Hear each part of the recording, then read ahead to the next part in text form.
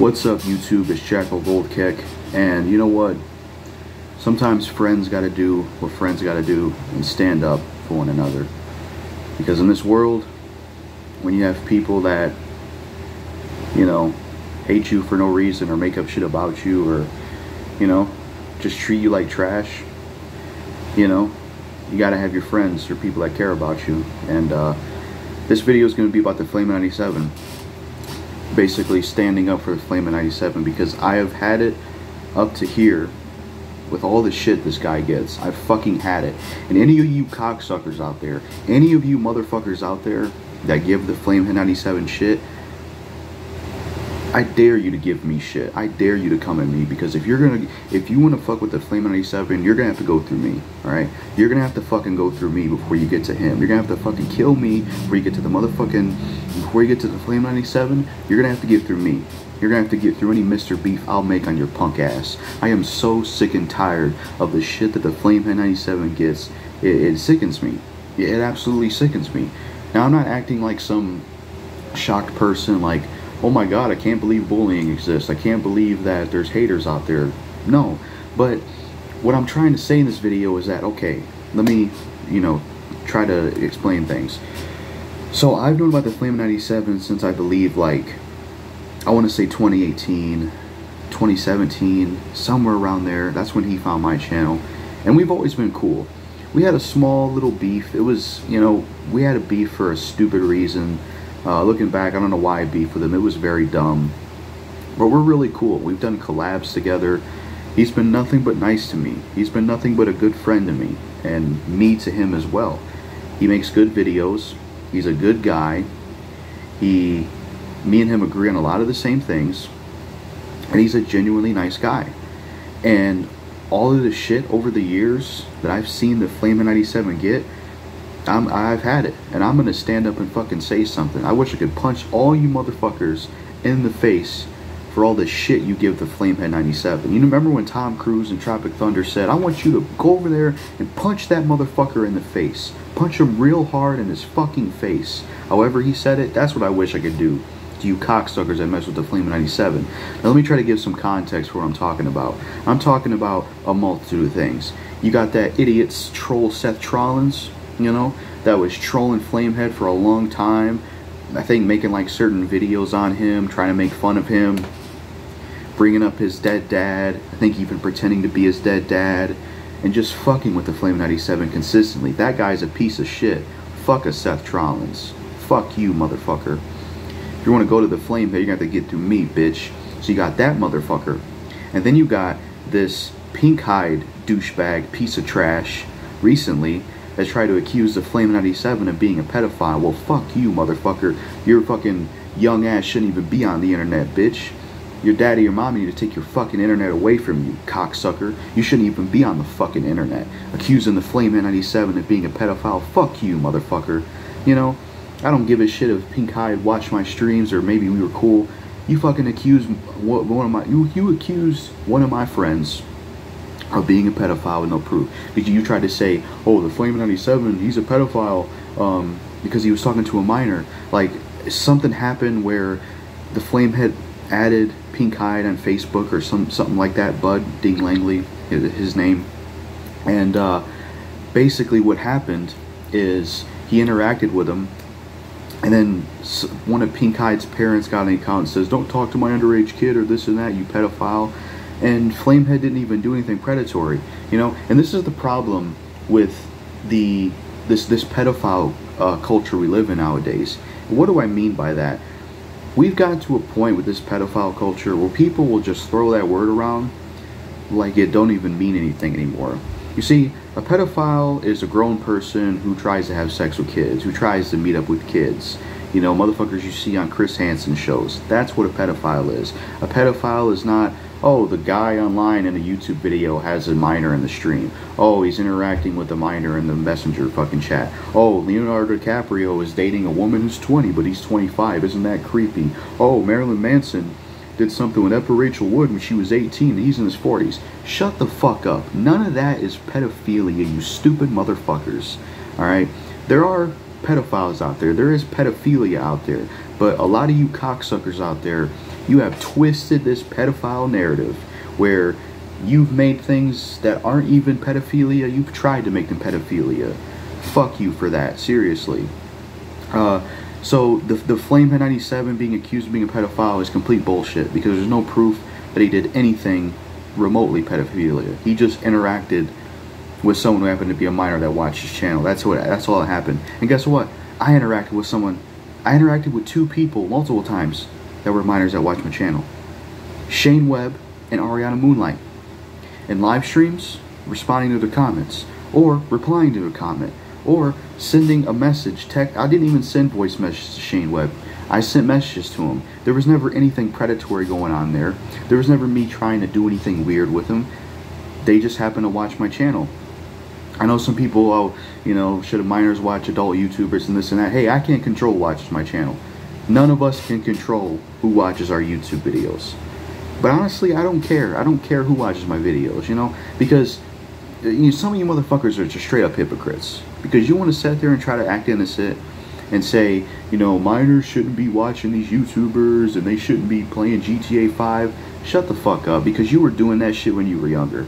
Because I was doing that shit when I was younger, motherfucker. When I was a kid, I was playing GTA San Andreas. I was playing Resident Evil 4. I was listening to fucking Eminem. Some of you people need to get off your fucking high horse, man. So, yeah. If, if you're going to call Flamehead a pedophile for interacting with a minor when nothing predatory happened and Pink Eye just happened to be a viewer of his channel, that is so stupid.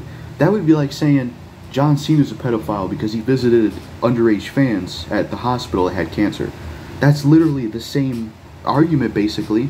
You know, like I said, I have some viewers that happen to be younger, but there's never anything predatory. I'm not sick like that. If I was a pedophile and if I was sick like that, I'd be live. I'd, I'd still be living with my dad. Let's let's put it that way. You know, you think you? I would not have felt uncomfortable or weird around him if I was a really a pedophile. You know, this pedophile shit is getting ridiculous, man. So, I'm just tired of the shit that Flame 97 gets. From Seth Trollins fucking with him, trolling him, the whole dead dad thing, from this pink-eyed piece of shit, trying to accuse him of being a pedophile when he's not. And then another thing that's even worse, that really I feel like affects Flamehead's mental health, is this guy, I won't name any names, but this guy lives at a house with other people, and these other people that he live, these other people that he lives with, they pretty much bully him and treat him like shit on a consistent basis. And it's just so fucked up because he doesn't deserve it. He doesn't fucking deserve it. And you you combine a guy that lives at a house, you know, Flame 97, Bud Langley, a good guy, you know, an honest good guy, you know. He gets fucked with and bullied at home and then he has to come on YouTube online to also get messed with by pieces of shit like Seth Trollins or an idiot like Pink Hyde or maybe there's even more I forgot to mention. Fucking Zach G's bitch ass. He'll flip flop constantly. One minute Zach G's cool, then he's not cool, then he's cool, then he's not cool. He flip flops more than a fish flops in the fucking water when there's no fucking water, whatever you could say. So he also had Zach G harassing his ass. Zach G will constantly one minute be cool with Flamehead, then he's not cool with him. So it's just like Flamehead's dealing with so much shit. And I don't even understand it because he's such a good guy. You know? Like, look, it's one thing to dislike a YouTuber. Alright, it's one thing to dislike an artist. You know, there's plenty of artists I don't like. There's plenty of YouTubers I don't like. For example, I don't like Moist Critical. I'm not a fan of that YouTuber. He's not my type of YouTuber. But I'm not making videos bashing him or bullying him or going after him or putting him down. Like, why the fuck would I do that? That's terrible. So, Flamehead97 gets treated like shit at home consistently and bullied, plus accused of being a pedophile online by Pink Hyde, plus getting fucked with by Zach G and his bitch ass flip flopping on him, plus Seth Trollins fucking with him, plus some other shit I want to mention where sometimes he'll post a weed video and some people will be like, you shouldn't smoke weed, it's bad for you, this, this, and that. It's like, shut the fuck up, man. If the guy wants to smoke weed, let him fucking smoke weed, alright? Judgmental cocksuckers. You know, it's like, I, I don't I just I don't understand these people, man. It's fucking stupid. You got that shit. And then okay, with this next section, I'm not disrespecting these people because they are viewers of my channel and I don't I don't necessarily think they disrespected Flamehead, but they were kind of wrong about him. Um, Damian Guerrero and Max Palmer. I'm cool with them. I appreciate their support. You know, no hate to them, no disrespect to them. But the things you two said about Flamehead wasn't right. You said that you guys said that you stopped watching him because he does mostly does negative videos or he does more negative videos than positive videos or you know something like that which isn't true. There's videos flamehead has done that's positive. It's just the negative videos that get the most attention you know?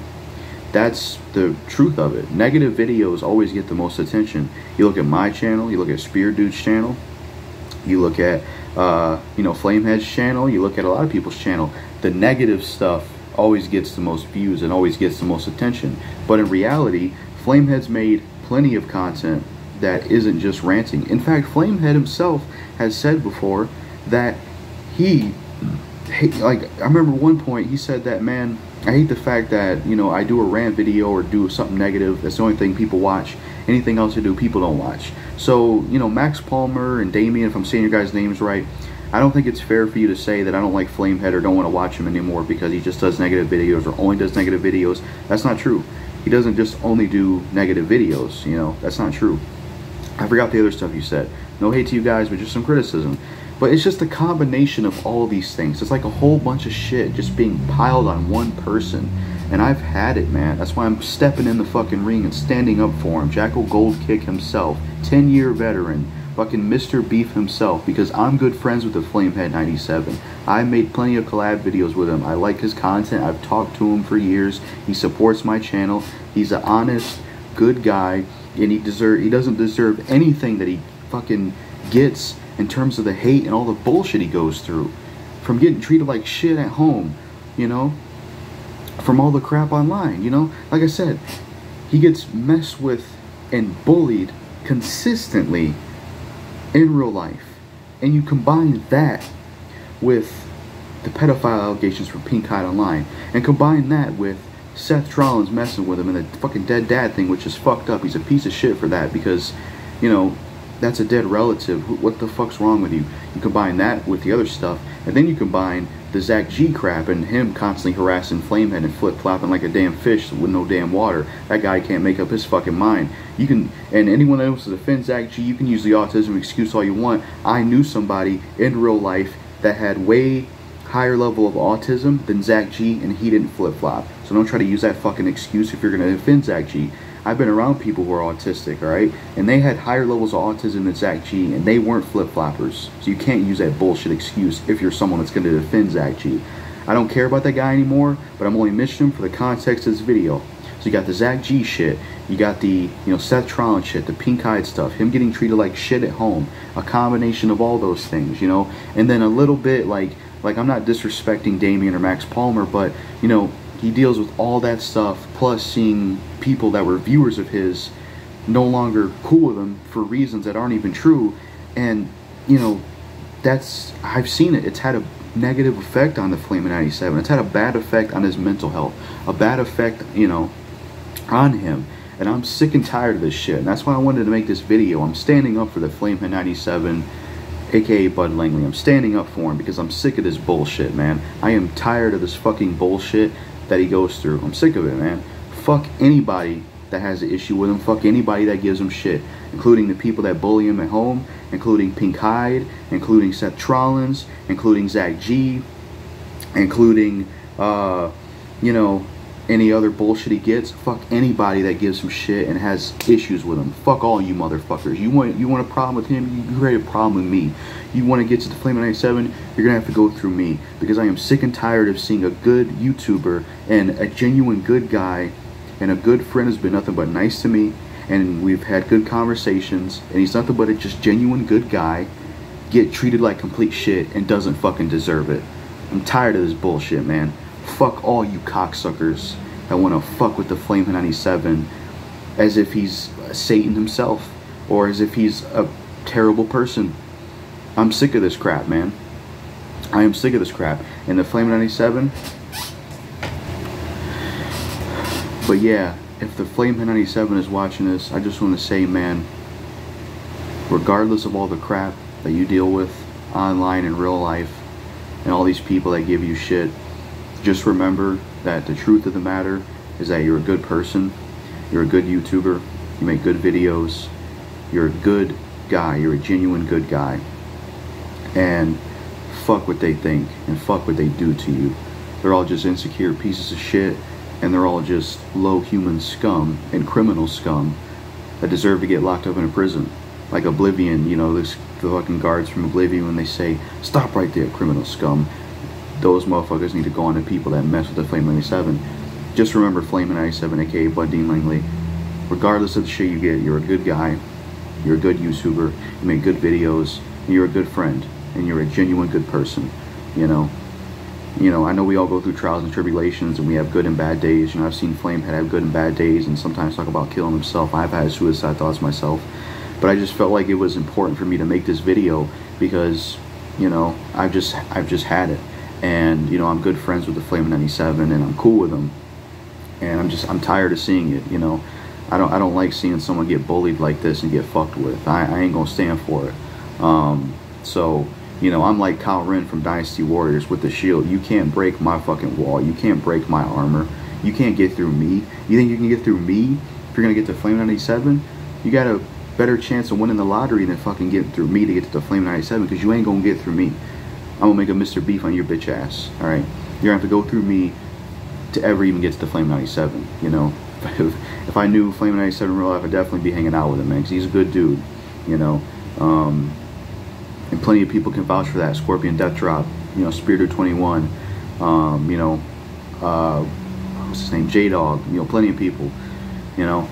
Look, if you don't like the Flame 97's content, that's one thing. But all this bullying and fucking with them and allegations and all this shit, it's uncalled for. And you're pieces of shit for it. Because the Flame 97 is genuinely a good guy, makes good videos, he's a good YouTuber, and that's the truth. It's been nothing but good to me. It's been nothing but good to other people. And I also hope this video gives the Flame 97 some hope. It makes him feel better and gives him some faith. And hopefully it makes him, you know, get through the bullshit in life. Because everyone needs help. You know, friends got to stand up for friends. You know, this is this is some real shit. You know, and just to really prove that this is some real shit, I ain't monetizing this, and there ain't no thumbnail for this. This is, I don't care about a thumbnail. I don't care about some goddamn monetization. Fuck all that shit. This is about defending someone who's a good friend of mine. You know, fuck monetization and thumbnail. We're keeping this raw because the point of this video is what I basically did, standing up for the Flame 97. Sorry if I repeated myself a lot. I have OCD. I have a tendency to do that. And I don't got time to edit my own videos unless someone wants to edit my videos for free. You're going to have to deal with that on my channel unless I forget to not repeat myself. I can't edit my own videos because I'm trying to get away from an addiction of mine, and isolation is a huge trigger. So I can't I can't edit my videos. I can't. You know, it's impossible. So yeah, this is my video standing up for the Flamehead 97, and uh, yeah, that's everything I had to say in this video. You know, it's one thing to dislike someone if they're a rapper or YouTuber, you just don't like their content, whatever.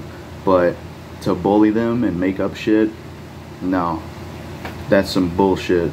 Straight the fuck up. But yeah, this is my video standing up for the Flame 97. Um, I'm out. AKA Bud Dean Langley. Peace.